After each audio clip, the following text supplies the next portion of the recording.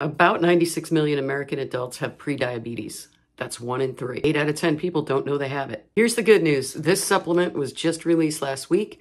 It's all natural plant based and it turns sugar into fiber in your gut. And the vast majority of those 96 million people do not know that this supplement exists because it just came out. So if you know someone that struggles with their blood sugar, share this video and follow me for more.